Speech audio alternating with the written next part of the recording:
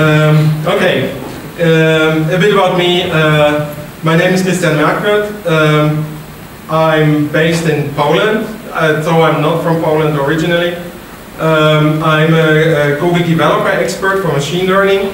Google developer experts, these are kind of, there's a small number of people that uh, have, let's say, they have special experience with certain Google products. It can be Firebase, it can be cloud in general, it can be Android, uh, it can be machine learning, and usually we go to different conferences and speak about it, but that doesn't mean we work for Google, and it doesn't mean that we speak for Google, right? Like, I mean, I get information from Google, but uh, uh, uh I'm not I'm not employed by Google. I'm not on the payroll. Uh, I, I was working for Google for several years, but but I'm now I'm now I'm working in a small um, startup. It's called FLYR.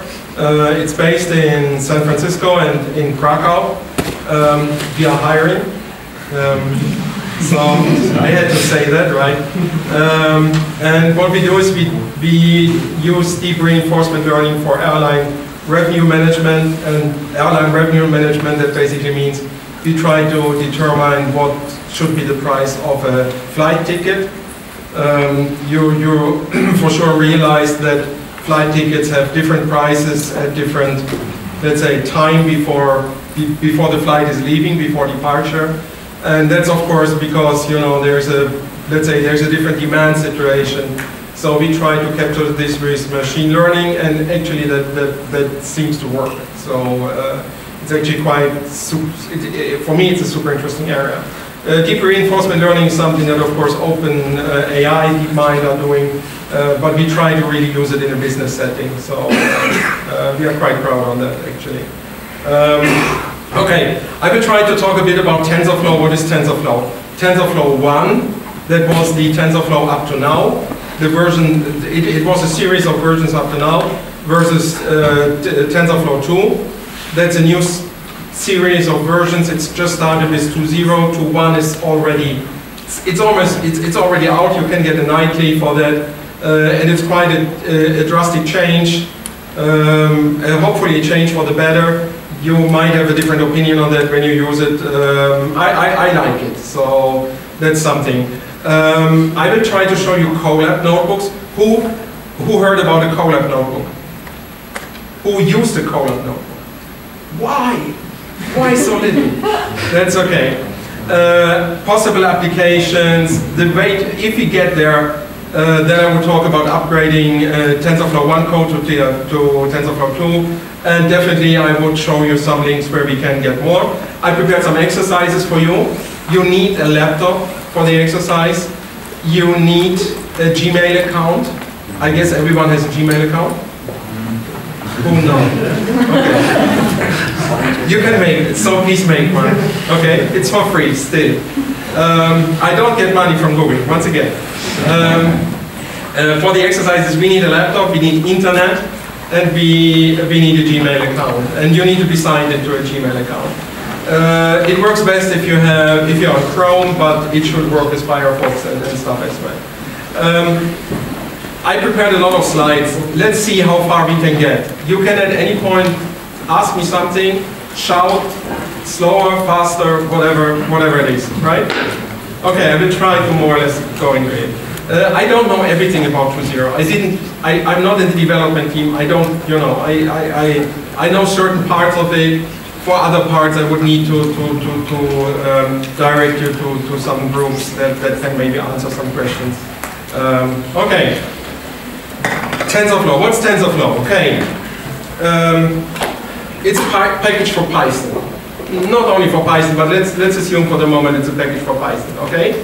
And it's well, Python is a slow thingy, right? Like you multiply two matrices and it is super slow, right? It takes like like minutes and not seconds, okay? But because Python is an interpreted language, it's you know, it's kind of very high level. It's not C++, it's not Java, it's not, you know, not Go or whatever it is, right? But still, if you want to do numeric math, you can do it with NumPy. And NumPy is super fast, and it's basically like a package for Python, works really good. Okay, why? Because it, it, it, has C code or C++ code that is that's just compiled, and, and it's just called from, from, from Python as kind of an API. And TensorFlow is basically a similar idea. It's a C++ backend that is like available from Python. It's also available uh, available from other languages, but actually it's still best integrated with Python, I would say. There's some ideas to go to Swift or, or something like that. I'm not really into that. Um, that might be something for the future. Um, it's a package that's designated or designed for deep learning. And you know what's a tensor? It's a matrix. And what's a matrix? A matrix is a rectangle of numbers, right? Like a rectangle with whatever, 10, 10, 10 columns and 20 rows. That's a tensor. Actually, a tensor doesn't need to always be a rectangle. It can be just a, a, a list of numbers. Then it would be a vector. That would be a one-dimensional tensor. It can be a sim simple number, a single number. 2.7, right? Which would be a zero-dimensional tensor. It can be not a matrix, it can be a cube of numbers, right? Like a, a lot of matri matrices stacked on top of each other. That would be a three-dimensional tensor, and so on. You can have five, six, seven-dimensional tensors. Of course, a six-dimensional tensor, if you have 10 by 10 by 10 by 10 dimensions, you get already like a million of numbers, right? Which is a lot. Okay, and TensorFlow is quite popular, it's quite uh, used, uh, it has lots of contributors, it's on GitHub, it's free, it's open source. Uh, Apache 2 license was released in Google by in 2015 and it's still in, in heavy development. Okay, and it kind of has been a success.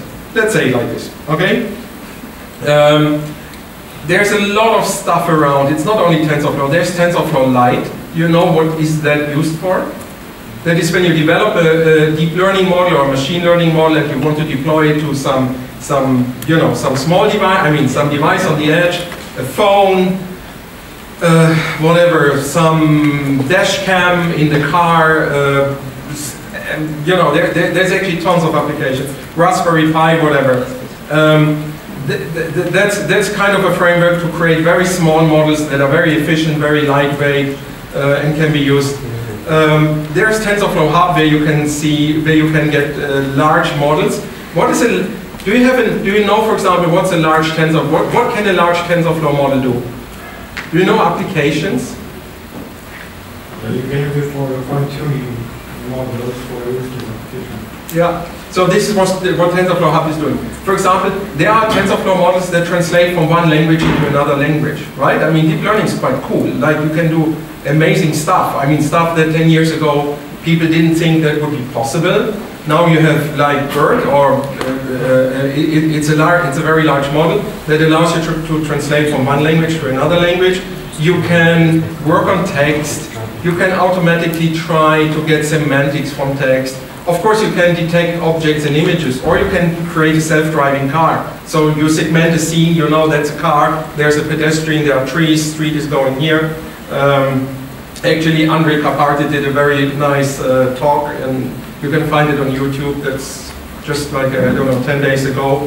He tells how they use the, the, the camera images in Tesla, in, in the Tesla car. I think these are several cameras, and they create from this one bird's eye view of the, of the surrounding of the car, where they try to map everything what is there, right? This is street, this is drivable area, this is these are other cars, so um, it's kind of kind of amazing. All that stuff works basically. You you you you you shuffle large tensors, like you know numbers or sets of numbers. You shuffle them around. You process them. That's all done like that, right? It's quite quite amazing that this works, right? Uh, people didn't think about that uh, 10 years ago, there was the so-called AI winter, and it turned out into a kind of AI summer. Uh, let's see how long that summer keeps. Okay, there's a large ecosystem around. Let me skip that, that that's actually not super relevant. Okay, if you dealt with TensorFlow 1.0, um, it, it had a really, it, it was complicated. It was complicated to use. Uh, the biggest thing, the biggest kind of problem is you, whatever you did, you, you, you didn't specify the computation, you specified a graph that tells you how the computation would, uh, should, should go. So you wrote a program that wrote a program. So like Inception, right? Like, like one, let's go deeper one level. Um, that made it super awkward to, to, to really understand what's going on and whenever you did something you couldn't see results immediately and it, whenever you wanted to, to get a result you, you had to define a session. You see that here. Can you see the mouse? Yeah. Okay. Um, and you had to define a session and run a graph and you know, while this might be beautiful for some people, for most people it isn't, right? Okay, so TensorFlow 2.0 is a kind of a fresh approach after many lessons learned, after many criticism and, and you know, like shouts for improvement. Okay, and unfortunately TensorFlow 2.0 introduces breaking changes, many of them, um, but it's for the good. Uh, enable a better user experience, fi fix buggy or inconsistent behavior, uh, remove duplicated code passes, I mean duplicated like, like API uh, passes, and it, it, should definitely allow for future optimization. Okay, so if you didn't work with TensorFlow before, it's now a good time to start, because 2.0 seems for me to be one of the major changes, so now you could have a fresh start, and it should be somehow easier. Okay, Okay, let's let's start with something. Let's start with something. Oh, okay. Now you guys, you have to um, you have to download a gigabyte of Anaconda to to uh, start working. Okay, no, you don't. Okay, was a joke. Um, there's Coca-Cola. You didn't hear about it. Now you hear about it. Okay, it's a free hosted Python Jupyter notebook. Anyone use Jupyter? Okay. Okay. So we, I, we will get to this. Okay, batteries included. A lot of stuff is installed, like TensorFlow, NumPy, Pandas, actually tons of stuff. And the best thing is um, all the CUDA and, and, and all the, the, the nitty gritty uh, uh, underlying like you know dependencies are kind of uh, cared for. Um, and your notebook, your notebook is basically, I, I will show you in a second, it will be more clear. It lives on G Drive, so it's always there. It's always stored. It's stored in the cloud. You cannot use. You cannot lose it. You can share it with someone else. You can even work with several people on it. Despite I do not really recommend to do that because it's super confusing. Um, of course, you need to be online to work with it. That's. I mean, that's. Well, this is huge, right? You, you guys are online here, right? you have internet. Awesome. Okay. Yeah. Um, this is the the uh, uh, uh, this is kind of the the um, let's say the entry point to Colab. I will leave this for a second. You just can also type Colab like collaboratory, like like working together, but also like laboratory, like like something to experiment. Okay, it's Python, right? It's not Java, it's not Scala, it's Python. Um, so of course I I, I um, uh, we will from now, from, from, for, for this session, definitely we will work with Python. Uh, you can start it here, but actually I, I prepared for you a small Colab. And here's the address. It's a short link. It's 2CX2JE9. Please open that.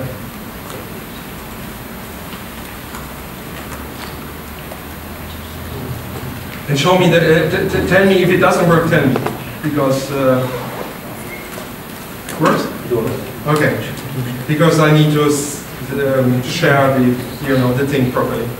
Okay, let's maybe, I will also try to go into it. Okay. So I will try to go into it. So whoever has a laptop, please try to, you know, try to try yourself. Or you cannot break anything. I mean, you could, but you would need to try very hard to break some break some stuff.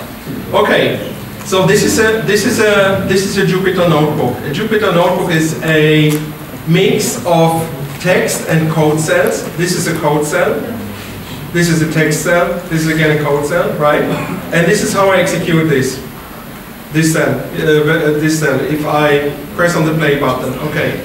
Uh, I need to open it in. Ah, sorry. I need to open it in Playground. So now in Playground mode again. That means we can really do very little harm and then we say this notebook was not authored by Google, it's okay. Okay, this is how you can execute a cell. So you have a Python kernel, you have a Python interpreter that is running behind, and you basically execute the cell, and all the outputs of the cell, all the variables, all the state of the cell is still uh, is still like kept in the kernel, right? So, for example, here we can execute something. Okay, now what is what I think is extremely cool about Colab is that you can share that, right? You can you can share it with, with either specific people, or you can create a link. You can create a link and copy a link, and you can even decide that people wants uh, can view it, or can can comment, or can edit it. Okay. But there's something even much more cooler. Now you ask, where's my node? Where's the code executed? Do, do, you, do you know when this code is executed? On which computer? On my laptop? No, in the cloud. This is on some virtual machine, somewhere in, in a Google data center. It's executed for free. Okay? For free is nice, right? Um, there's even something much, much cooler. Like for me, I mean, I, at least I think it's amazingly cool it's not only that you can get this virtual machine that is, of course, in, in, in some sense it would cost only a few cents per hour. You can get a GPU. What's a GPU? Yes. what for do we need a GPU? For playing games? Sure. okay, awesome. Yeah, I get it. Okay. Um, definitely you can use GPUs for playing games. It, that, that's how it started uh, GPUs allow you to do super fast computations because actually they are very, they are like a co-processor, right? They can crunch a lot of numbers. They are 10 times faster than even a fast Intel or AMD CPU. Okay, there's something, but you saw something more here, right? You saw that, a TPU. It's a tensor processing unit. It's a dedicated chip made by Google let's let's let me see if I can if I can if I can get something. Okay. well, okay. I don't even know what this means. um, lo location location based uh, results, right? Um, a TPU is such kind of a. It's actually a chip. It's actually a chip that is. Have a look. This is how it looks like. Um, you don't see a lot, you see the cooling, the cooling elements here.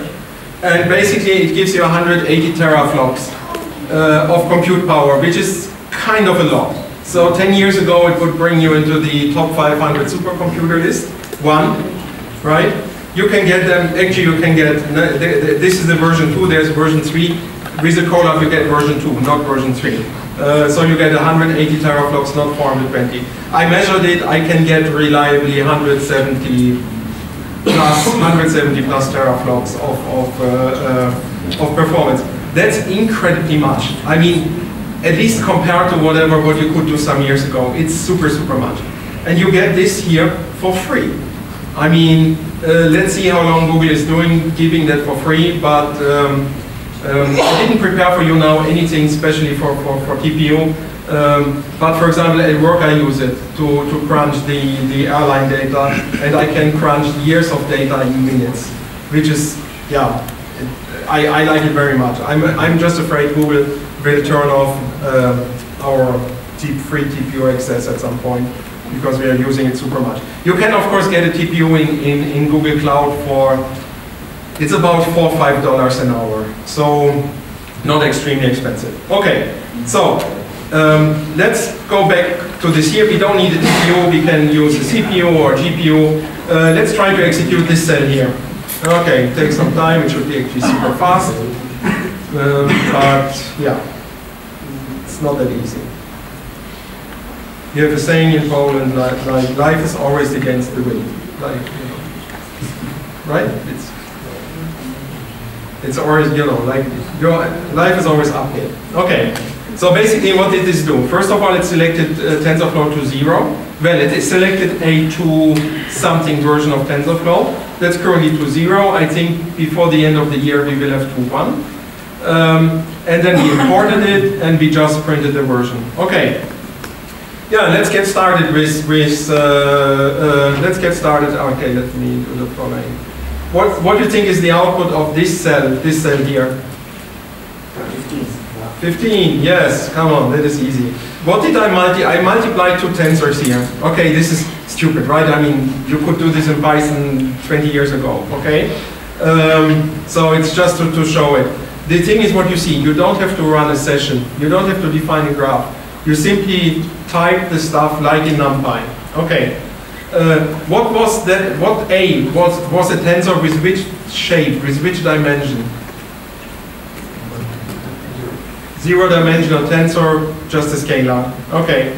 And now we define a new tensor A. What is the shape? 2 by 2, right. Okay. And we can always go back from a TensorFlow uh, tensor to a NumPy array. Basically, NumPy is also like working on arrays, so you could call it array, you can call it tensor, whatever you think is more fancy. Okay, yeah, we go back. This is this is this is not super typical. What do you think is this thing doing? What? No, we are no place. In the moment, no placeholders. No. It takes the place two tensors, uh, two by four, and then just add them together. It adds them and then it computes the, the square of them. It creates here two tensors and they, they are filled with, with random numbers. And they are filled with, with normal with a normal distribution, this is a Gaussian distribution. Um, the with center center is zero and standard deviation is one. Okay? And what is this cell doing? That's a bit more that's a bit more challenging, I guess.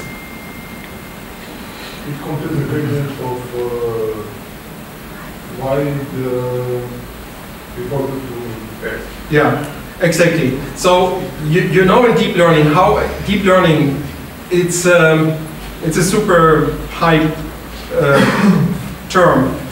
What happens in deep learning? Basically, you create a long chain of let's say you create a neural networks with lots of layers, and in the end you have a loss, and you compute the gradient of the loss with respect to your weights. Weights are basically the the tensors, matrices that you that you multiply with your inputs. Okay?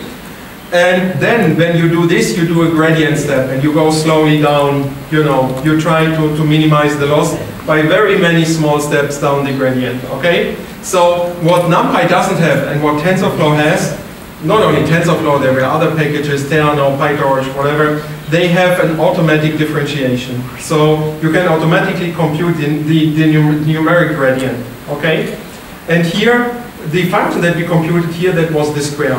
What is the, so, so x squared, okay? If you, if you compute the derivative of x squared, this is what?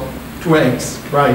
And x was set here to 3, so the result should be 6. Well, this is a trivial, this is a trivial thingy, but in principle, you know, we see that this works. Um, now, if you ask me, I mean, this is a numeric differentiation. It's not precise. The funny thing is, it works, right? It works even, deep learning works even over small discontinuities and then stuff like that. That's actually extremely interesting. Okay, cool. Um, we did this already. So I'm trying to, to, to skip through this. Okay, that was kind of simplistic, okay? Um, let's train a deep learning model. And for deep learning, you know, like I said, you have to define a lot of neural network. You need to define a lot of layers um, because deep actually me meant just that you don't have one hidden layer in a neural network. You have four, five, six, whatever, okay, or 10, or 20, or 100.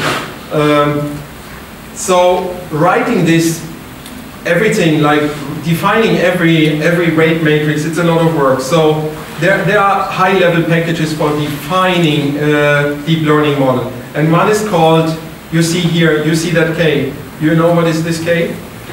Keras. Wow. Who worked with Keras? Yes. Okay. So TensorFlow loves Keras. Keras actually is kind of a part of TensorFlow. So um, you know, TensorFlow was developed by um, a French guy, François Chollet.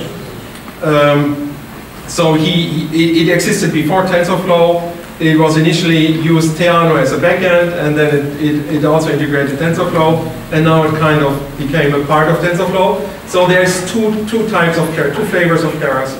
There's the standard Keras, the reference implementation, and you would get it when you say import Keras, right?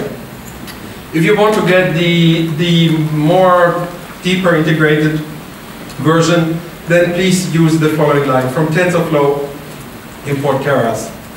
Uh, th th that definitely gives you lots of advantages, especially when you work with Colab, okay? Okay, in Keras you can specify a model and you have several ways to do it. Um, there are three or four ways to do it. I won't show you all of them. Um, I will show you the kind of the easy way. Um, the easiest way is to define a sequential model. And sequential model doesn't mean we work on sequences of text or something like that. It means we, we have a sequence of layers, okay? And usually we start, uh, so, so we, we, we, open here the sequential and we give a list of the layers. We start here out with a flattening because our data is maybe a matrix, uh, like each input sample is a matrix and we want to make it a vector. And then we have a dense layer, dense neural network layer. That means actually every neuron in this layer is connected to every piece of the input, uh, not, not, not to the output, but to the input. Then we have a dropout layer, and then we have another dense layer with 10, with 10 output neurons. And actually we use a softmax. Do you know what this softmax is doing? What is a softmax doing? So the output of the last layer is, is a vector of length 10. So you put a sample inside, and the output is a, is a vector of 10 numbers, 10 floating point numbers. What is the softmax doing? Returning 10 numbers whose sum is between, uh, is equal to 1. Yeah, exactly. Computes 10 numbers, numbers are between 0 and 1, uh, and their sum, uh, their sum adds up to, to 1.0. Yeah, exactly, very, very right. You can interpret those numbers as probabilities if you like to. If they are strictly seen, if they are a mathematical, clearly defined probability, that's a different question. That depends, for, for, for example, what does this depend on? If they, those are real probabilities. S something that you would really say this is an equivalent to a probability. It depends on the choice of the loss function, right? So cross entropy loss would be a loss where you could say that this is a, this is a maybe likelihood I would call it, not, not a probability. Okay, okay, but let's, let's go going a bit into, into the math of, of, of the whole thing. Okay, now we need to compile the model, and to com compile the model means, it, it does a lot of things, but basically we add a few things. We add a loss.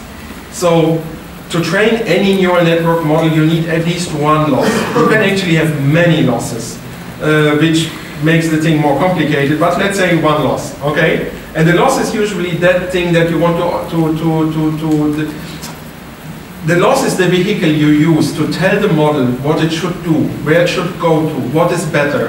And usually the loss me measures something like a prediction error. Like this is very wrong, and later, you know, the wrong thing gets less wrong, so your loss goes down, okay? And here we propose sparse uh, categorical cross entropy, which is a loss that measures on these 10 numbers, it measures how much we are mispredicting a set of 10 classes or 10 categories, okay? And later we, we want the model to compute the accuracy as a metric. So the metric is not a loss, the metric is more a how to say, an, another, another indicator that tells you how good is your model or how satisfied you could be with your model. Okay? With model fit, we train the model. And in deep learning, you train a model on, on input data, or training data called, and usually there's a pair of training data. There's X and Y, or inputs and outputs. What is the difference? What, what or, or features and labels? Uh, that all means the same thing. What is a feature? What is a label? Yeah. So the features is what you have. Let's say you you want to predict um, you want to predict the weather. No, no, no. This is a bad example. Um, the income of a person, right? And the label. This is, for example, the person earns more than. Give me a number. $100,000 less than $100,000. Um, if you're in San Francisco, it's always true, always, okay? Stupid joke, it's not true. Um, there are so many homeless that, that uh, uh, uh, it's, it's actually not, not, not that good there, in my opinion. Um, so the label is you earn, for example, more than $100,000 or you earn less than $100,000. That's a binary label, like 0, 1. Okay? And the input features, what could be good input features if you want to predict how much a person earns? There, there are many possible. Give me some ideas. What could be a good input feature? Age studies, Age studies. Location. But if you look all over the world, what would it be? What else would it demographic Profession. features. Location. Location. What Together. if, if the person lives in Silicon Valley or in Tokyo or whatever, you know, the probability is much higher than if you live in, you know, some remote area. You know. okay. Um, yeah, th- th- this is a difficult topic, right?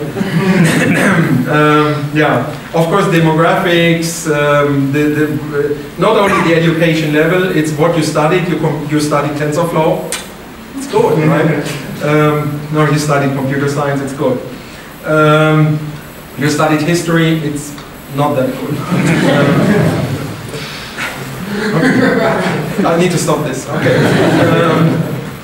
Um, so, so yeah, that is the thing. There are features. This is the data you have, and the labels is the the labels is usually what you want the model to predict later on.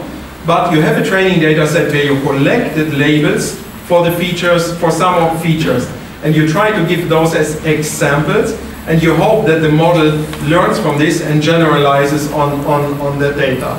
Okay. Um, here we not only give a metric and a loss, we give also an optimizer. Uh, what is an optimizer? It's a data center algorithm with multiple. Yeah, it's kind of, so, so like I said, mostly we train deep learning models with something it's called stochastic gradient descent. And let me, let me, I, I'm, I'm talking too much without, without, um, um, can you see this? Okay. So, basically, if you look at the landscape uh, that your loss defines over your weights, and here are only two weights. Here are only two weights. A, a neural network with two weights is, of course, extremely simple. Most typical neural networks have millions of weights, right? Like, I mean, thousands to millions to 200 millions, okay? Like these language translation models, they have, I think there are some models that have a billion of weights, which is kind of a lot. And what you want to do is you want to go down the loss, right? You want to go from, some value where the loss is high, so the red parts here to some, some uh, value where the loss is low, okay? And you do this in small steps. So that is called stochastic gradient descent because you take only a few samples of your training data set and you compute the gradient and you make a step in the direction of the gradient. Um, and then again, you, you, you, you recompute, I mean, you use another batch of samples from your, from your training data set and you do this in a very, in a very, let's say, step-by-step fashion, right? You don't try to go a long shot from, from, from the, yeah, from the hills to the valley. You're trying to go really in, in very small steps. And actually you can end up in, in, in something that's called local minima, right? You see this here that actually if you start here, you end up there. And if you start a bit more here to the left, uh, you end up in another minima. Okay, and again, another explanation here is the stochastic gradient descent. Because you, you compute this gradient only on a small amount of samples, your, your, your gradient is actually very stochastic. Stochastic means it's not always showing exactly in a good direction. It's more or less like, like sometimes, like a it, it, stochastic gradient descent is actually like a drunkener wa- walks home, right? Mm-hmm. It, the drunkener walks almost in the right direction, but it's always a few steps to the left and to the right. But still, you know, he or she gets to the place, right? Um, so, and the funny thing is, when you have millions of weights, this stochasticity seems to help you, and it doesn't, it doesn't like destroy your, your optimization. In the opposite, it, in my opinion, it helps you to tunnel through all the local minima that you have that you have in your in your loss landscape, right? Where you could usually get stuck in. Okay. Um, going back, we were here for beginners. Keras, the, the sequential like model for for uh, um, um, for, for Keras, how to define a, a deep neural network. And here's what we train on. So we give the features, here X train, uh, we give the labels, Y train, and we tell the number of epochs. What's an epoch? The number of data. So one epoch is one run through all the training data you have. And you, since you do it in small batches, so-called mini batches, a mini batch can be 16 samples, and your data set can be a million, a million samples. So you would need five, about 500, let me- uh, 50,000 steps, uh, 50,000 of the small stochastic, you know, gradient steps to do one epoch. And often you do like 10, 20, or 100 epochs. Okay. And now the next line, in this last line, what do I do? I, what does this do? And why do I do this? What is the predictability of, uh, the power predictability of the one? Yes. So we trained on some examples, right? Like it's basically like teaching a child, right? You, you show to the child, this is a cat, this is a dog, okay? And you have five cats and five dogs. But if you want to check if your child understands this, and mostly the children understand this after two examples, right? They're actually extremely, uh, humans are extremely well at that. Um, you show them five different pictures of cats and dogs, and you ask them, well, what do you think? This is a cat or this is a dog, right? And then you, you, you, you hope that they make zero mistakes on that new data set. And that new data set, it's sometimes called the, the evaluation data set or the test data set, validation data set. We can, we can, we can go in detail. You can do test, validation, what- whatsoever. Um, you usually, it, it, it needs to be disjoint, right? It cannot have common samples. You cannot have the same samples in test and in train, right? This is no, no. Um, if you do that, you are kind of, yeah, you're, you're, you're, you're, you will get it to, mostly you will, you will get it to optimistic value. Okay, this is Keras, how it looked for TensorFlow 1.0. And do you know how it looks for 2.0? The same. Okay, something good. We like this. Okay. Um, that was the easy way. There, there are two more ways, at least two more ways. One more way is to use the functional API. I don't want to go into this. The other one is if you really want full control of what you do, you can do the so-called subclassing, uh, which basically means you derive a model from a base class, which here is the TF Keras model. Um, I don't want to go into it. If someone wants to try that, you can do this all in Colab. Okay. Um, and, and just for the sake of time, uh, the same for training. The easy way to train is to use the model fit, model.fit. So the fit, fit function is defined uh, uh, on the on this base class, model base class. Um, or you can define your own way of fitting and then you need to really go through the gradient tape. The gradient tape is a list of all the gradients with respect to all the all the gradients to, to all the, the, the, the mutable variables in your all the trainable weights in your in your model. And then basically you, you get these gradients and then you have your optimizer, which again is an Adam that we had before. Um, and we apply those gradients. So yeah, okay, this, is- that's actually, that's actually, okay.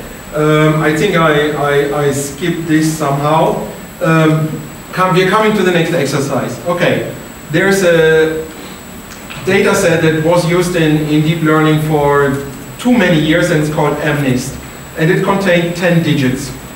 I mean 10 digits, 0, 1, 2, 3, 4, you know, to 9. 0 to 9, 10 altogether. Okay. And of course, now we can get 99 point some percent, you know, accuracy. So it's, it's kind of pointless. So Zalando, I don't get money from Zalando, um, created a new data set that has exactly the same format, exactly the same size, number of training samples. Uh, it's 28 by 28 grayscale images, uh, 10 different categories. Now, of course, it's not digits, it's not one, two, three. It's actually pullover, sneaker, boot, ankle boot. Ankle, uh, you will see it in, in uh, I mean, boot, uh, uh, uh, um, whatever, right? Like, like, like clothing, right? That's what, what nerds mostly not pay attention to. um, at least that's what my wife says. Um, I think she's right. Uh, Is she here? Okay, no, she's not here. Uh, Um, so yeah, please go into the next exercise. Please open this. And the task is add a validation data set um, and plot how the training and validation history is developing over 10 epochs. And you can definitely go through this and I mean, it, even if you don't do the task, go through this and please try to train your, train your model. Train your first model on this fashion MS data set. Uh, it- it's a Colab I, I created, but it was mostly... Back to the link, please, we we didn't get it right. the. Oh, Yeah, okay. getting the Oh, same amount of oh, screens Yes, yes, yes, yes, yes, I get it, I get it, I get it. Um, That's what, um, you know, this, this happens. In my age, this happens. Two oh five, okay, and then? Gi- Give me one second. Try now, try now. Does it work? Yes. Can you show the link again? It's two O, not two zero. Uh, oh, sh-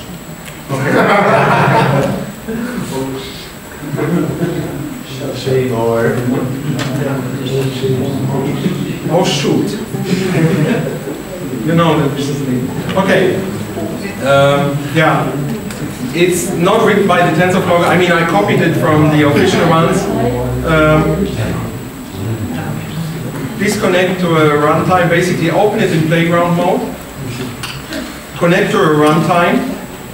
What would you use? A GPU, of course. Why would you use a GPU? Because it trains much faster. Okay. So let's connect. Let's connect to it. Yes.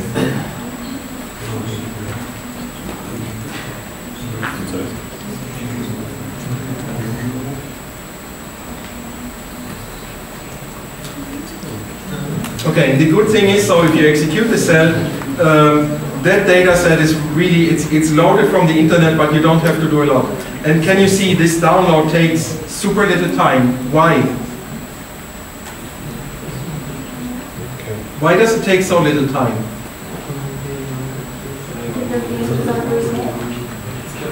It's kind of, it's true, the data set is rather small. But again, where is the, where is the code executed? It's executed in a, it's executed in a, in a Google data center, and Google's data centers are connected to the, to the web with an incredibly fast internet. So it's kind of funny, sometimes when I have to download some large uh, data set, ImageNet, I go into a Colab and I download it in the Colab. It's so much faster than you can get it to your, and from, from the Colab I can store it in Drive or on GCP. Because it's so much faster than your internet, than your Wi-Fi to your laptop. It's, uh, uh, so, so the, the, the, the, the, the kernel, the Python kernel that runs, it's, it's, I, I would say it's a hundred times faster connected to the internet than you can get at home with your Wi-Fi. So, okay. So once again, we come here to the to this data set. We can show it. I, I'll try to execute it here step by step. And we see the 10 classes, t-shirt top, trouser, pullover, dress, coat, sandal, shirt, sneaker, bag, ankle boot. I don't even know what this is all. Okay? But we can look at that. Um, okay? And the human can kind of make sense of this rather, rather nicely. Okay? Yeah, and here, what do we do here? We define the model, like I showed you before, as the, um, with the sequential uh, uh, interface of Keras. We compile it. We can use model summary. What does model summary give us? The structure and the number of weights. How many weights do you think we have? Trainable weights.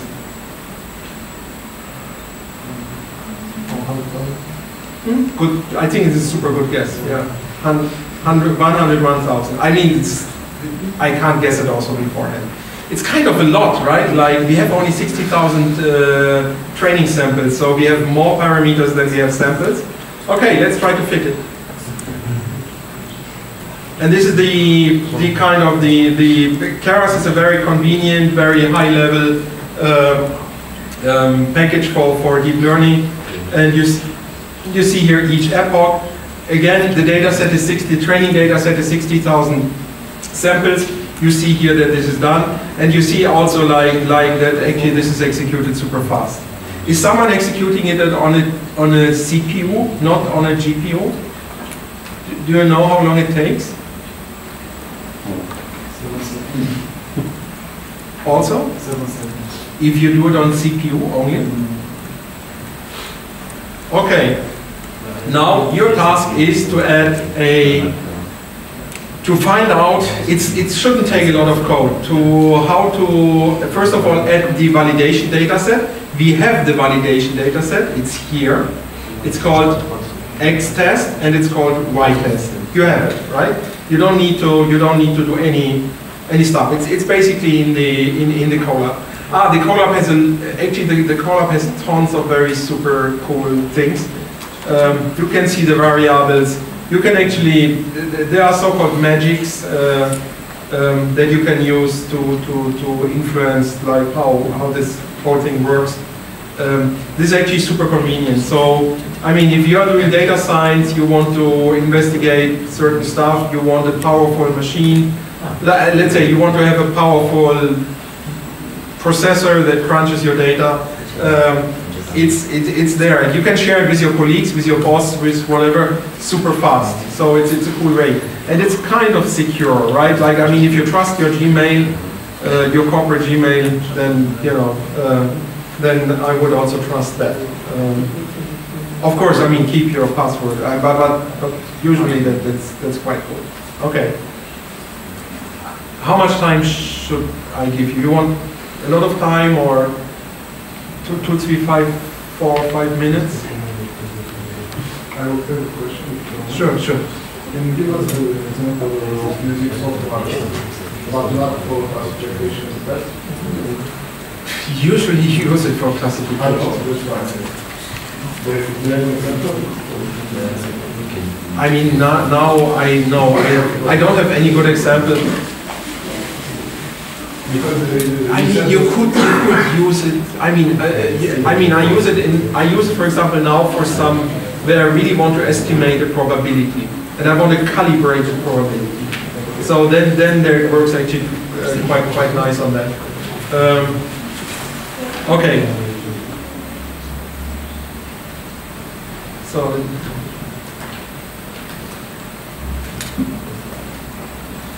Okay, now let me see.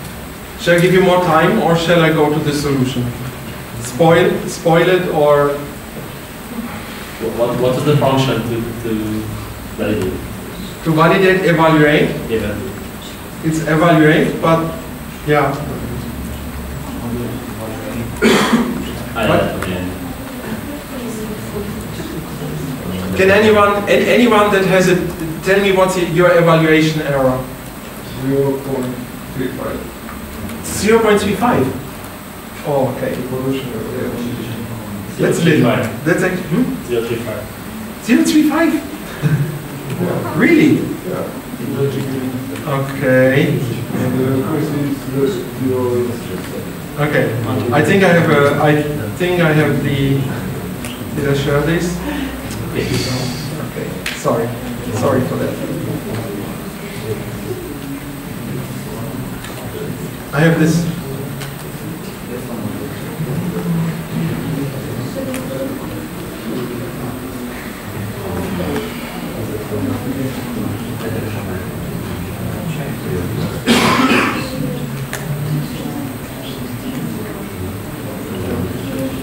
Okay, let's try this again. Train it 10 epochs if you can. Train it for 10 epochs if you can. It bad? 035 is super little. I had thought something in the 80s. But uh, I have two numbers, zero three five and zero eight seven. 035 is the loss and 087 is the accuracy. Yeah, okay. For the loss, this is super fine. Okay. Perfect, perfect.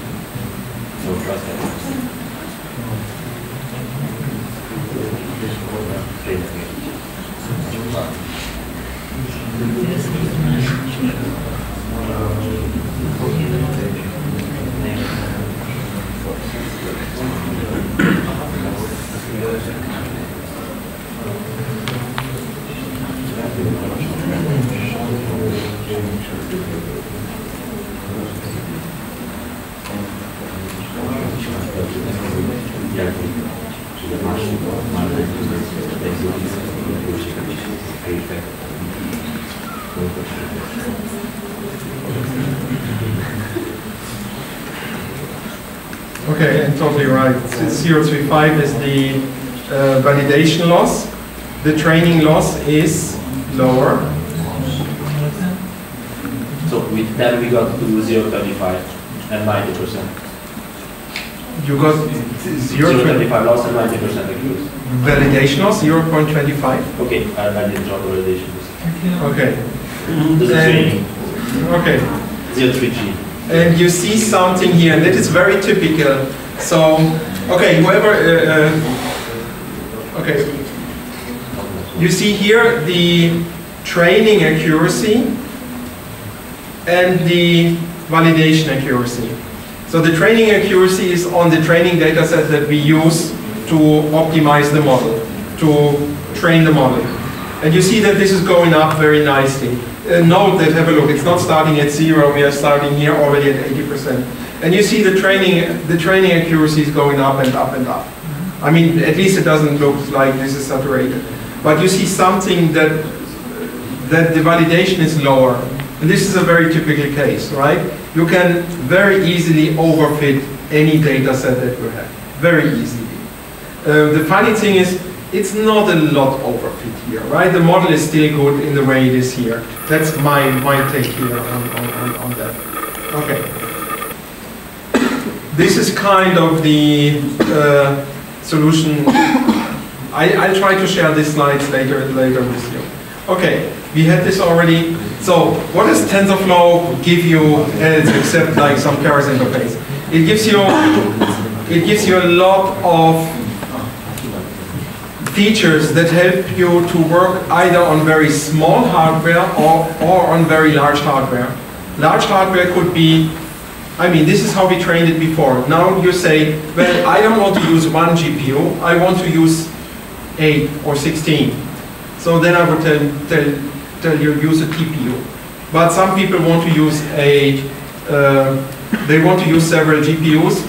And for this you, you, you need um, so-called strategies in order to utilize these GPUs. It's actually not that trivial. Uh, because see that you have to compute the gradient on different machines. What do you do? You add up the gradient or you do independent gradient steps? So this is usually handled automatically by this strategy, and it's it's it's very it's it's a safe bet at least in the beginning to rely on these uh, strategies. Okay, coming to documentation. Um, there's a lot of examples what you can do with TensorFlow to zero, and they are on the website, and they most of them have this button run in Google Colab. So the same in the same way I showed you this here, you can do it with all those examples. You can run it in Colab, you just need a computer, you, you need a laptop, you need an internet connection, you need Chrome and a Gmail account, and you, you run it in Colab, you don't need your own setup, you don't need to do pip installs. Um, you can do, I mean, if you want, you can do pip installs in Colab, but most of the stuff is pre-installed, and especially for those um, for those tutorials, you there, there's nothing needed, right?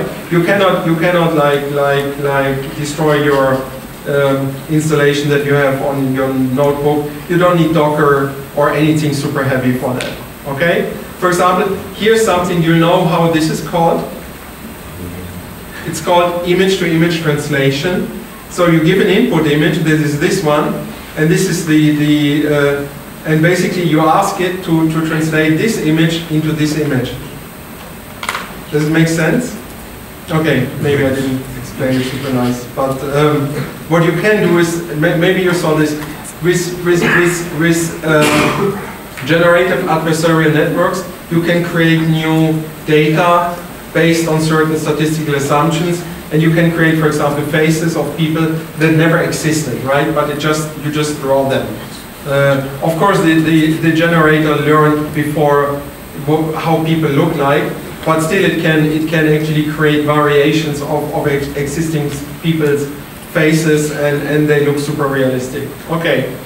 Um, now, this is a bit more around. Um, what you do, you, you usually your life cycle when you work with deep learning, there are two main things, two main phases there's training when you develop your model. Can take a lot of time because you need first you need to gather data. This is not easy. For example, a big problem is you need to label data. There's an ecosystem of companies that will help you to label images. Uh, they will, they will, um, you can send them a million images. They will ask you for a certain amount of money, not, not very little, like 20 cent per image, which is $200,000. Um, but they will send you back the labels for these images. For example, I used that once for um, detecting cars in a scene. You know, car, you're in a car, you want to do autonomous driving, you want to detect cars. So you have tons of, you have ton, it's very easy to generate a lot, lots of images, especially when you have cars that drive around and automatically take, take the images. But the problem is you need to you need to label those images, right? You need to tell this there's a car, there's a pedestrian, there's a stop sign, uh, there's a traffic light. Um, so labeling can be super expensive. Okay, uh, it, I mean what I wanted to say, it takes you sometimes months to generate a training data set. Okay, usually for deep learning you have training and then you deploy the model and you run it for inference. And both are quite heavy tasks. It's not only like writing a few lines of code. So for training, you, you, TensorFlow offers you utilities for reading and pre-processing data. It's called TF data. I'm not going into it. it. We don't have enough time. You have pre-trained models. So training a large image uh, classification model, it takes time, right? Like, like it even takes compute time. It takes, it takes about several hours on a TPU. Uh, but fortunately, you can download those models they are pre-trained. You can download them from TensorFlow Hub. There are, uh, there, there, are of course also even models you can download from the web. You know, people publish their models on even like on GitHub or stuff like that. Uh, you have TF Keras or you have so-called estimators. Not, I'm not going into it. I showed you uh, Keras. You have the distribution strategy to work with, with uh, distributed hardware. Uh, you can train on CPU, don't recommend that except for some very smallish um, examples. Mostly people use GPU or TPU. A again, you can get free TPU, which is amazingly good, and it, it, it, it, it allows you, basically, let's say you are at university, you, you have a small Chromebook, you can still train in, you know, in, in a few hours, you can train a large model, which is amazingly cool. I mean, you couldn't do this even five years ago. You, you needed to buy a machine, like, and put three or four GPUs in it, which costed you at least, I don't know, several thousand dollars. Okay, now you have that model. What do you do? You store it in TensorFlow, you store it, store it in a format it's called saved model. Again, I don't want to go into it because it's, it's, it's, it, it's, a, it's a lot of stuff.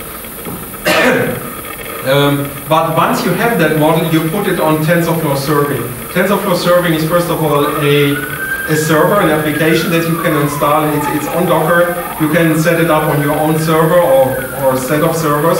But you can also do it simply in the cloud, on GCP or also on AWS. Right? You, you, you just push the model to a certain service and tell that service, serve me that model. Um, which costs you, of course, per every prediction costs you whatever, a, a microcent or uh, something like that like not a lot. It's actually rather, this serving is mostly the cheaper part of this, but uh, if you have a different, if you say, no, no, no, this uh, eats our uh, cloud budget, um, then maybe you serve a lot, right? Um, you have TensorFlow Lite that allows you to take a model.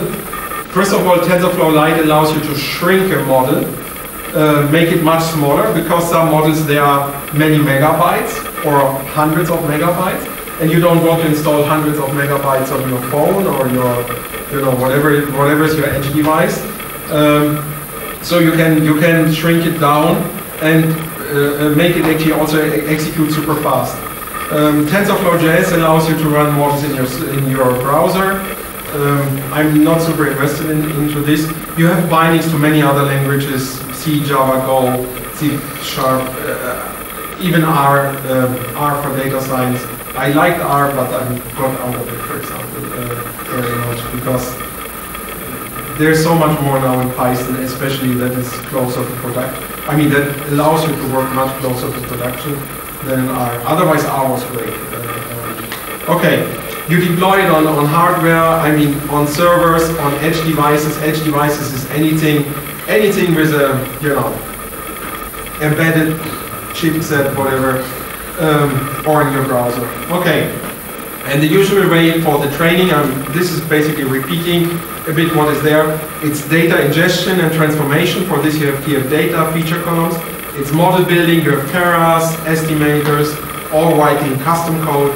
You have training with the whole thing. You have TensorBoard actually to, to monitor your training, and then you save the model. That is basically what you do during training.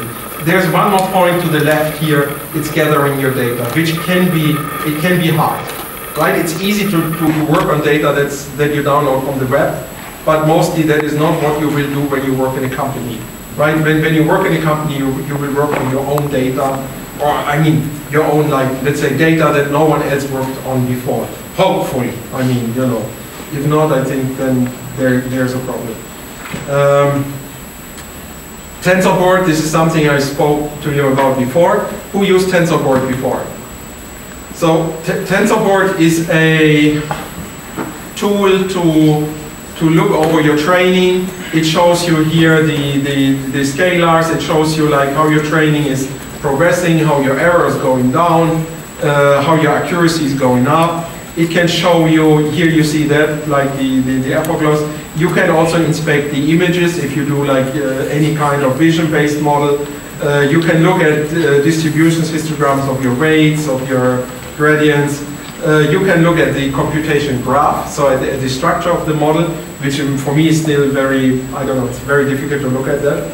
I mean, it's very difficult to, to understand the, the, the graph because they become super heavy.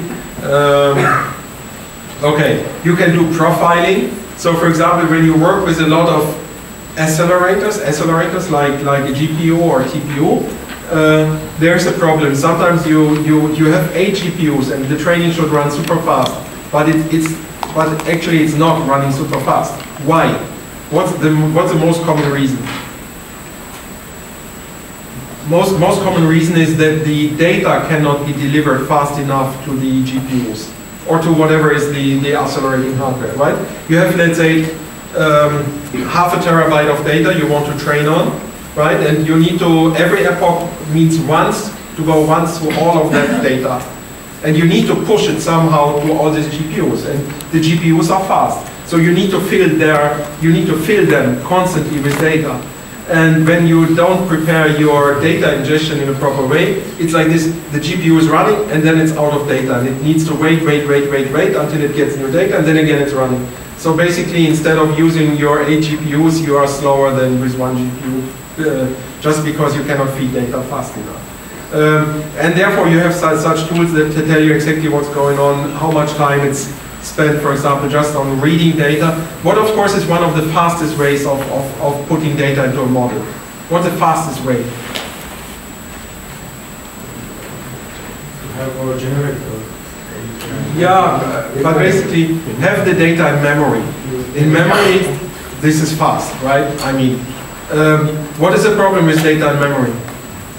You need a lot of memory. You need a lot of memory, right? Like if you have if you have 200 gigs of data, uh, but basically in the cloud you can find machines with 300 gigs of, of RAM. They cost a bit of money per hour, so on the other hand it might be fast. What is the second best way of feeding data to a model? Yeah, I mean you feed them in batches, but how, how, how would you do it? SSD on PCI Express. SSD is good, but one SSD, how many? Okay, write zero with Yeah. How The- many you have. Yeah, the best, so, so actually a very good way is to, to store the data and, and in, you're, you're right, but in the, in my opinion, the easiest way is to store the data on cloud storage, cloud storage on GCP, for example. And cloud storage is distributed storage. It's stored on SSDs. I don't know on how many SSDs, I mean, physically, I don't know on how many SSDs it's stored. But first of all, you do something, you shard your data. What's sharding? You uh, cut it into pieces and. You hack it into, yeah, exactly. You hack it into a thousand pieces, a thousand files. Each file is between 10 megs, 100 megs, okay? So it's just a good, a good chunk, right, a good byte. Um, and most probably they will all live on, they will be kind of distributed over many SSDs. And then when you run this, for example, the training in the cloud, um, you, you get the read power from some number of SSDs. So in my how opinion, many, this is, how many, how many network interfaces are split this once again, once again. Across how many network interfaces are splitting this load? Even Uh, if the cloud has a thousand of SSDs, you're still running on a giga. Yeah, but, but, but I don't, I, I, I I have the, the, I train on TPU, which is basically in the cloud. I don't know how the TPU is connected to, to GCP. I mean, I don't, sorry, I don't know how the, the TPU server is connected to the, uh, to the storage server. You need to make sure you are in the same region, basically the same data center, you know, uh, th- th- that's the thing. Mostly this is very fast. That, that's really fast. In my opinion, training in the cloud is faster than you can do on premise, except you have extremely good hardware. Extremely good and extremely expensive hardware. So I mean, if you, if you put up uh, eight GPUs in a rack, right, and, and I still doubt that you are much faster. I mean, it depends. If you spend a lot of time and money and, and, and, and uh, optimization, you might make it faster. I, I, I don't bother. I, I mean, not I don't bother.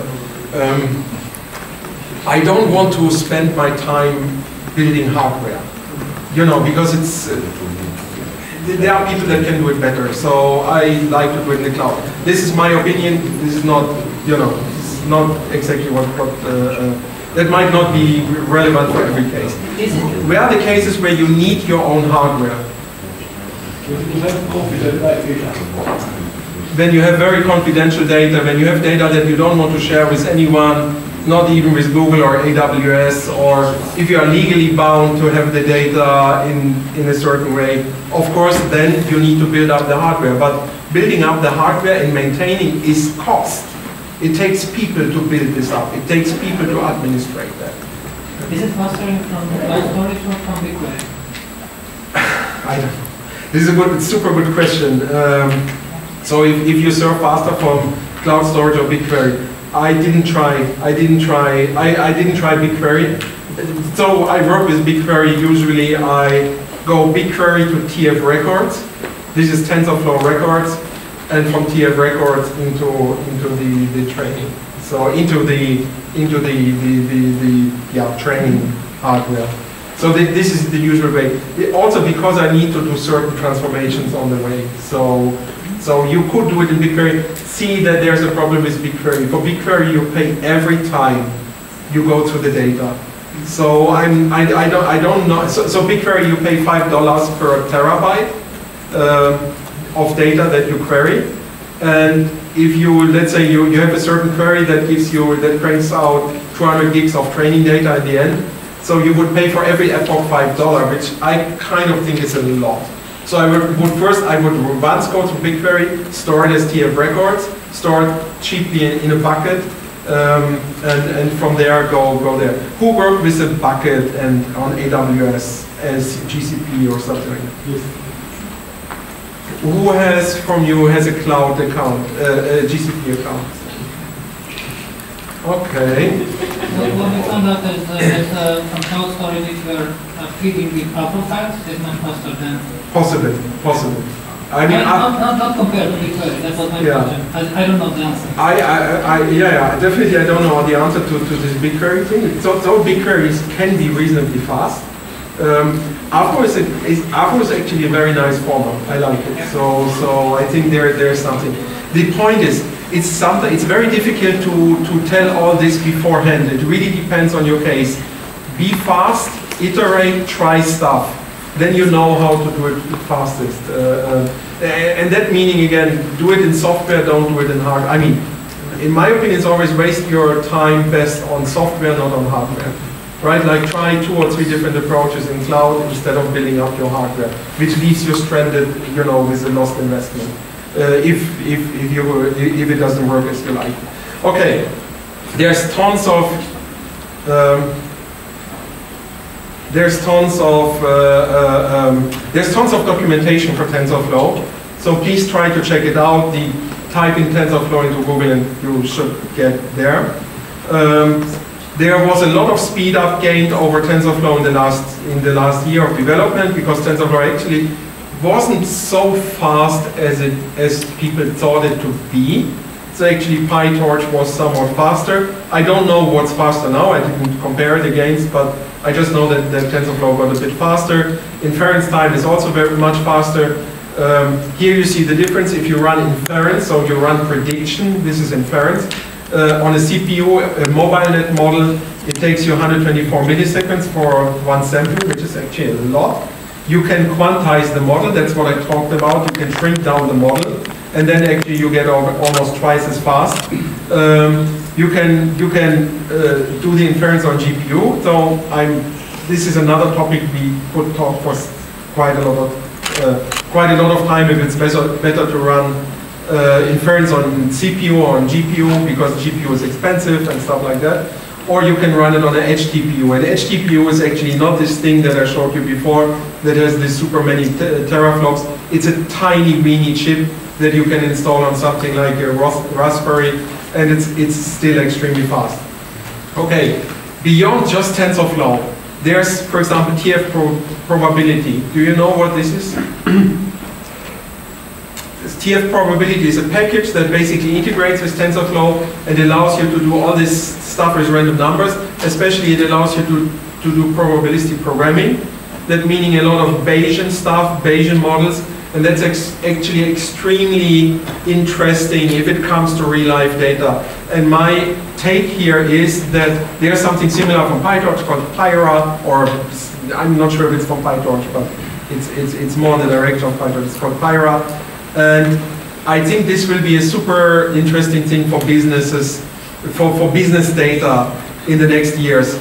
My take is that not a lot of people know that, know how to use that yet. But this is actually super interesting. TF agents, it's about reinforcement learning. Tensor2Tensor is a set of, it's kind of a framework for running models under a very, um, very uh, controlled uh, environment. TF ranking is if you have ranking problems.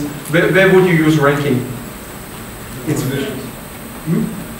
Oh, yeah, recommendations, everything you search and you want to like kind of present results to a user and you want to make sure that the first n results are the most relevant results. Uh, TF text is a toolbox that helps you to work with text files, federated, I don't know my, myself. Okay, Who, whom of you heard the, um, the term convol- convolutional neural networks? Okay. So uh, the idea is have a look. You have an image. You have an image. You have an image of cats because we everyone likes cats, right? Or dogs, whatever. Okay. Um, okay. Um, no. In San Francisco, you see more dogs than I, I don't know. Dogs are treated better than everyone else. Uh, honestly, um, you see, people don't have kids anymore; they just have dogs. Um, um, yeah. Okay. Then you have an image, and you have a cat or a dog on that image. What happens if you move that this image a bit in the you know if you if you if you move the head of the dog a bit in or the cat down the it shouldn't change anything right? So what it means to be what that means is if you do this if you if you do the if you work on that image you should look for local features right? Like features that pick you should look on pixels that are close to each other right? This makes much more sense than than than trying to find an eye here and a nose here right usually this is something that that's basically a bias from the real physical world is objects are compact right? They move in a co- coherent way. Okay so so does the image. Okay so you have convolutional neural networks and uh, this is a 3 by 3 kernel. So you have you have nine weights they are arranged in a square and you move them over your image. Your image is here and basically what you do is uh, you multiply the pixel values, the pixel values here is 1, 1, 0, 0, 0, 1, 1, 1, 0, okay? You, you move your, your convolutional kernel that is here in yellow, right? You move it over the image, you multiply the kernel weights with the, the pixel values, and then you get the output. So look again, we start up here in left, left upper corner, we do this and we sum, sum up the, we sum up this product and then we get this, this output. And this is so-called the output of the convolution.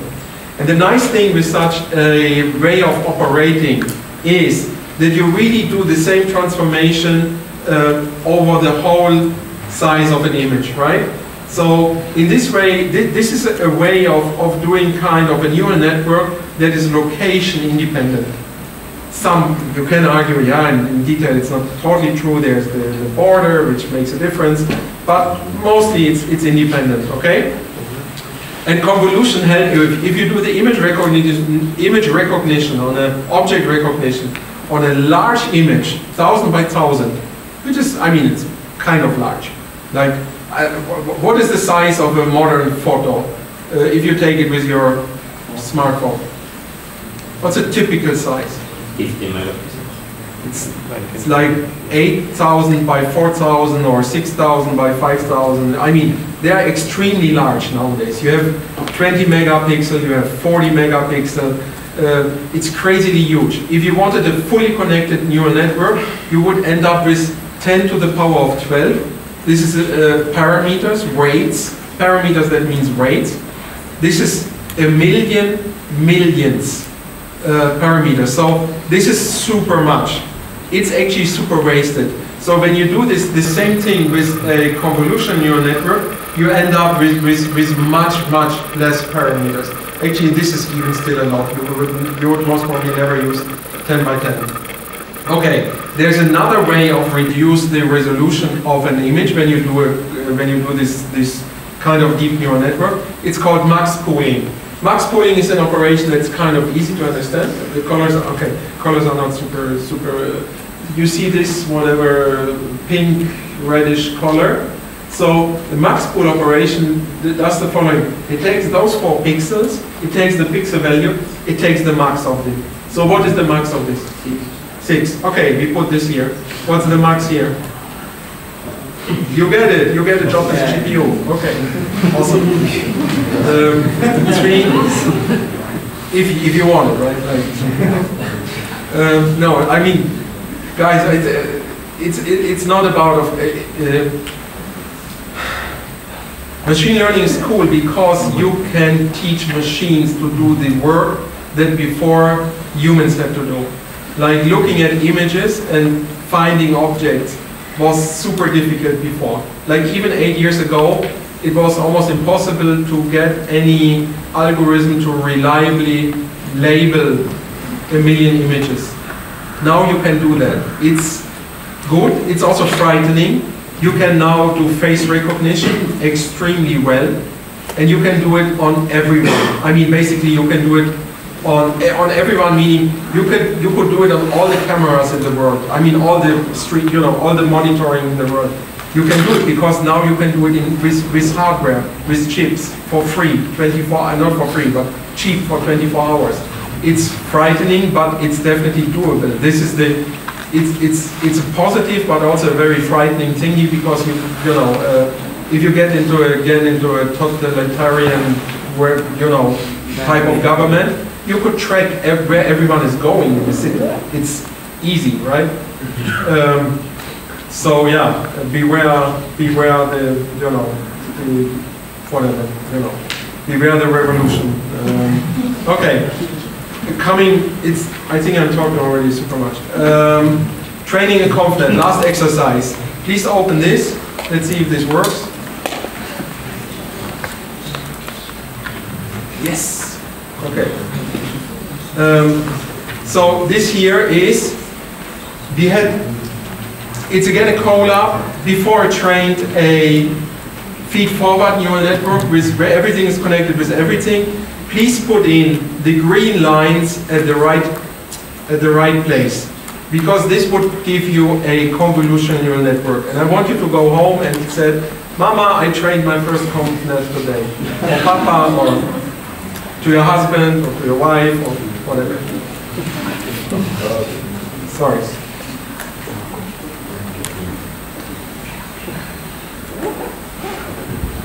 okay trying to see where this fit in. Look at this greenish, oh, the colors are super different. Uh, look at these greenish lines.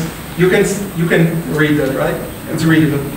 Um, you know why this is a problem? Everyone thinks you see the same colors, but you know that most, uh, many men cannot discriminate red and green. It's actually super, super heavy. So, so actually when you do presentations, there are, there are mm, color checkers to, to check that everyone can, can see the colors. So if anyone can't see it, please tell me, then I we see all the gray here. You see all the green. All the gray text, yes. It's great for you? Yeah. Why? Okay, good.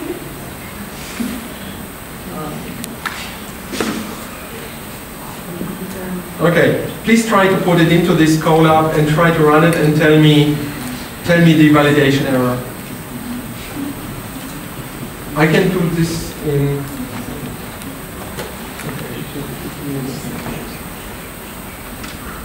And this will be the, the last exercise for today.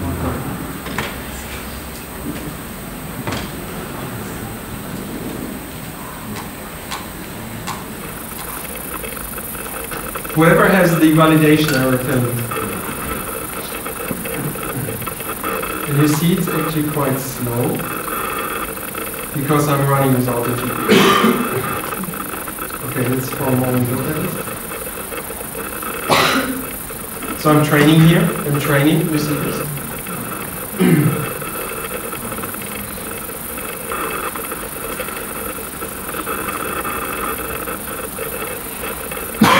This is super, super slow, let me stop that. I think you'll hit massive. I will select it.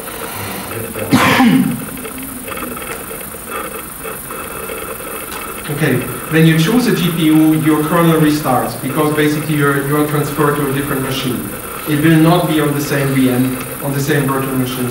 It will go to a, a it will definitely go to a different machine. Because you know, this, the, the CPU one doesn't have a, a GPU close.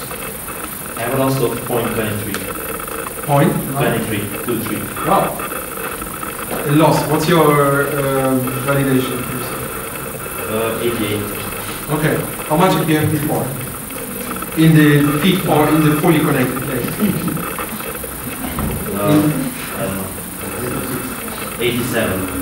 87? Not much better. okay, let's see. I think this should be faster. Is it faster? Oh, that's kind of a difference, right? Like, like even as a GPU is already quite, quite faster. And you see also something like the first epoch takes most longest. It often it takes the longest because the the GPU has to kind of warm up.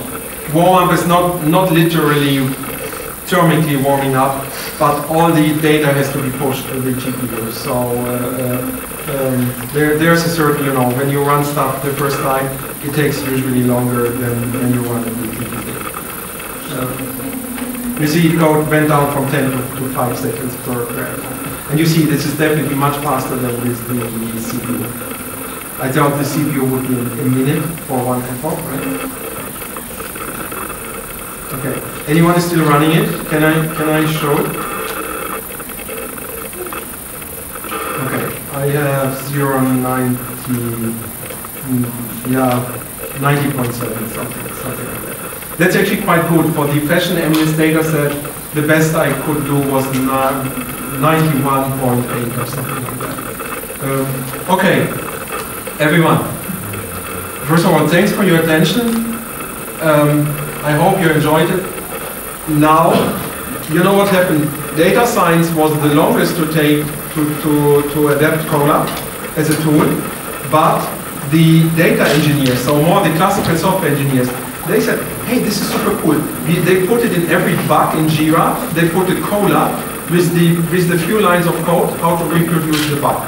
How to, you know, how to the, the few lines of code how to interact with the system, and, and then we can, when you fix the bug, you can use the Colab to actually check if the bug is, if the bug is still um, is still alive. Because you know, with your backend you can you can easily ah with the Colab actually when you, can you can authenticate and you can connect to a GCP backend.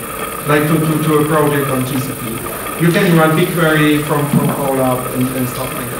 So actually the, the classical software engineers, not the, not the data science, they use it as a, as a tool just to send around and show you, hey, this is the bug, um, um, you know, like here you can check it, here you can check it, reproduce it, and then, you know, uh, when you fix it, will check it in the Colab, you know, if, if the thing is fixed. And mostly the Colabs are just a few sets, like three, four sets. Sometimes often a query and then just showing a, a BigQuery query and, and then showing the stuff. Okay, do you have questions?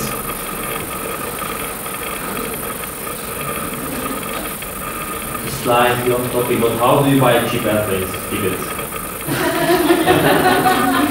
Okay, I mean, could we have a Google Flights, Google Flights, Skyscanner, um, okay? help you, no, uh, buy it about 80 days before the flight, if you can. It's, it's a rule of thumb, right?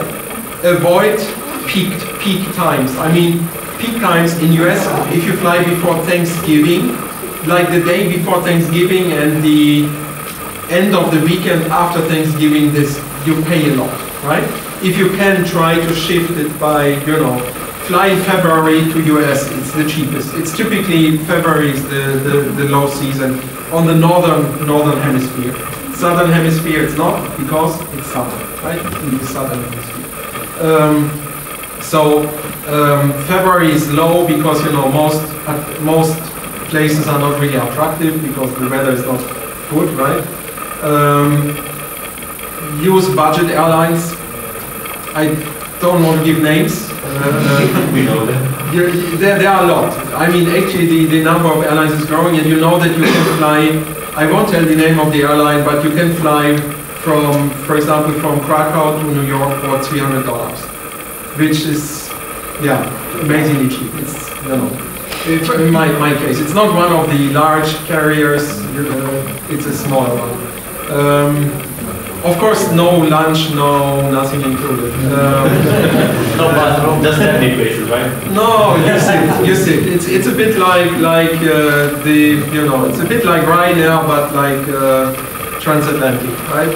Um, I, I spoke to a guy. I think he bought the, the ticket New York Oslo for 120 dollars. One way, one way, which is still I think very cheap. Um, in general, look around, look around. You you will find it. Uh, I think it's there. There's no real magic to, to do that. Uh, there are something like error fares or stuff like that, but but I wouldn't. They mostly don't help you because they are not at this time when you have to. Error fares when when the, the revenue management did an error, but it's it's getting more and more and more infrequent. Now, what do you use for orchestration uh, pipeline? I'm okay. For training pipeline, I often even run it simply in Colab. Uh, TFX, TensorFlow Extended helps you to, to, if you wanted to do the full integration, use Cloud Dataflow to generate data, uh, and then do this. Kubernetes, of course, is, is, is a good way. Now, how you do it, Airflow, Argo, not, this is not my topic. I mean, this is not my, my specialty. Like, um, um, I, I, mean, it, it depends now to, to what level you want to go. Like, in, with everything, or I mean, you want to, to retrain some stuff every Training every week. every week, yeah. Kubernetes, And, and, and I mean, you, you have you have cloud ML training jobs that you can start with, yeah. So so it, it, it depends on how much work you have to do to, to get your training data generated. If there's any manual step in between that you still have to do, so yeah. It's it's not. I I I- mean I cannot answer it super uh, general.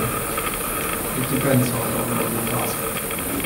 Uh, can you share the slide and maybe comment where to pick up Ah, sorry, yeah, more information? definitely, sorry. So definitely start on the um, official website. There's kind of a lot of information and there are different, I mean, these are just two books and I don't get any money from that, right? Um, th- th- there are, there are dozens of books around. Uh, check it out, and, and, and actually there's a lot of information, but use Colab to try stuff. It, it really helps.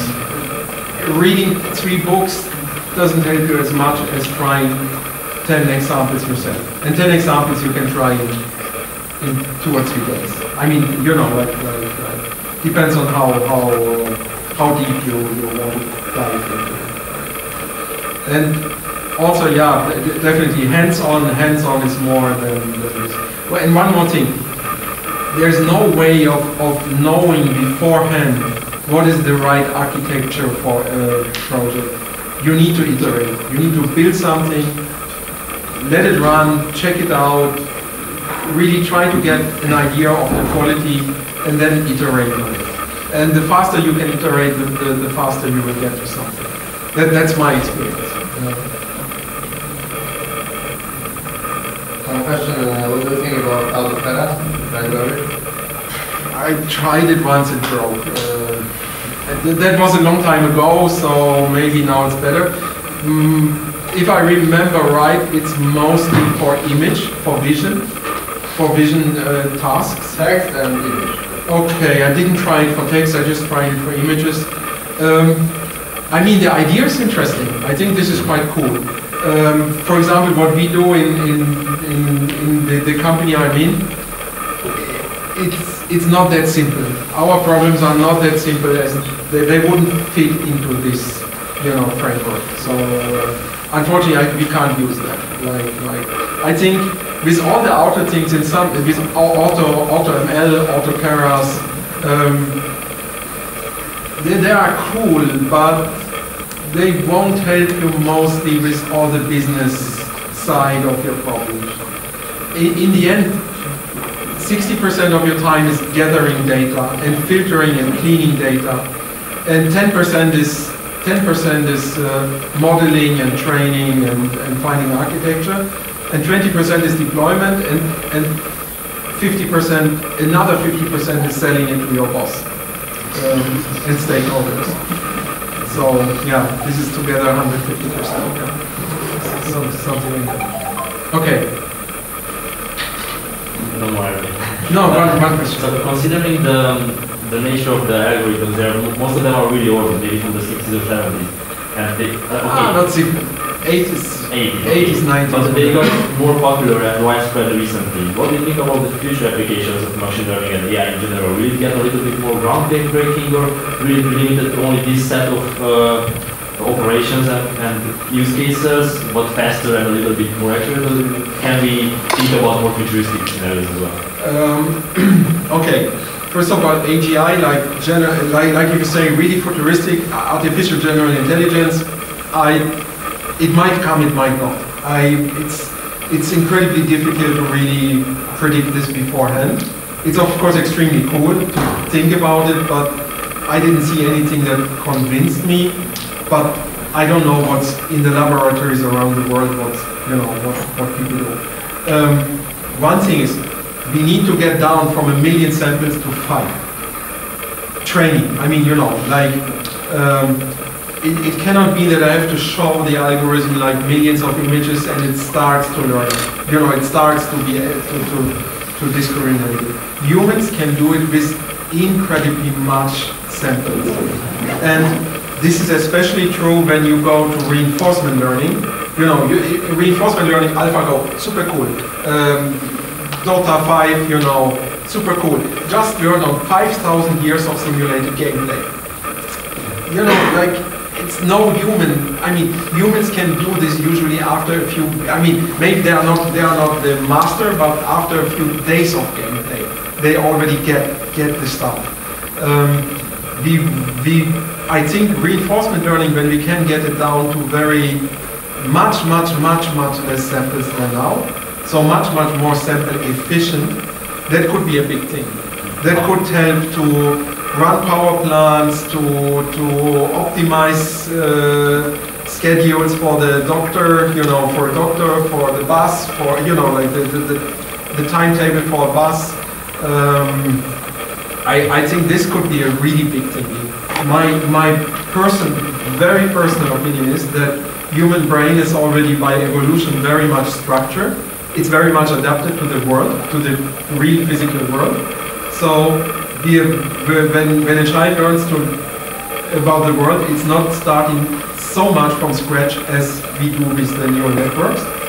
Um, and I think we need to find this, this kind of prior, this kind of, you know, uh, uh, uh, yeah, prior that we need to put into this. this. That's my take. I'm not sure how to get there and, and, and what would be the steps even to start to, to get there. But um, I, I, I think this could work, right?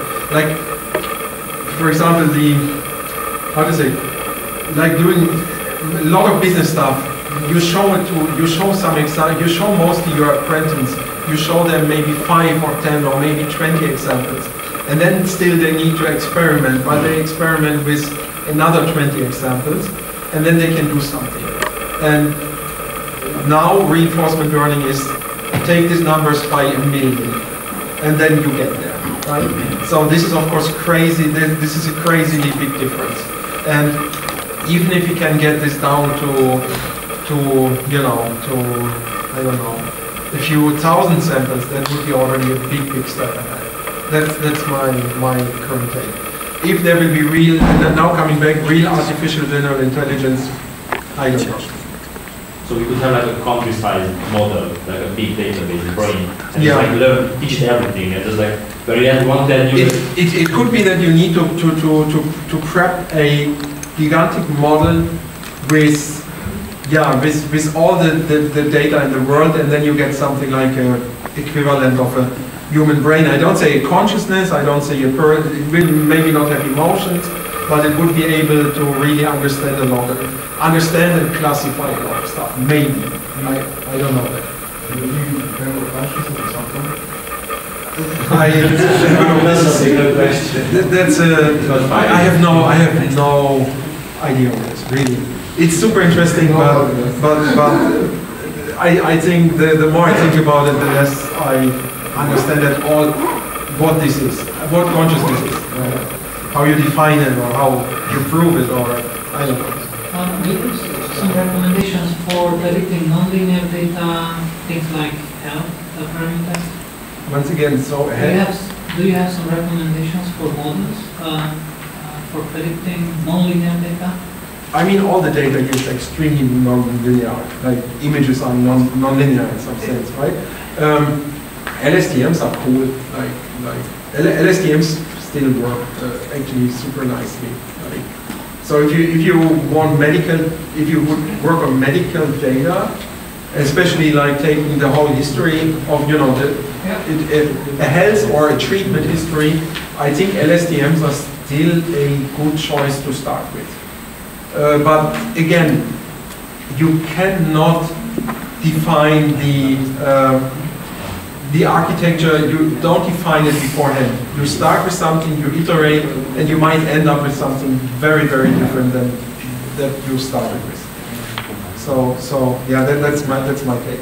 There's no person in the world that, that you know sits down and cranks out ResNet without trying, you know, uh, the new ResNet without trying trying some, you know, many many iterations before. The biggest problem is, and that's my opinion, is there are still not enough people who can use this, uh, let's say, TensorFlow to the uh, TensorFlow, PyTorch, whatever, and come up with new ideas.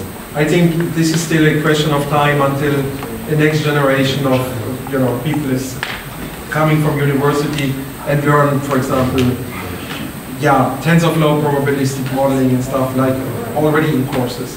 Then we will see, like I think, uh, uh, another acceleration of, of new um, applications and stuff like this. That, that's my idea. Have you tried one GPT XLNet on some instances? Once again, what? Uh, If you apply uh, this model. Which, which, uh, so, so definitely I, GPT. Uh, I mean language, language, Yeah. NLP, no, no, no, no. Actually, I worked very, very, very little with, with, with NLP. Like, like, a lot of my colleagues did a lot, but no, mostly vision and time series is, is, is my, my, my thing. Okay. Everything else we take offline. We are already over time. Okay, thanks everyone. Thank you. And, uh,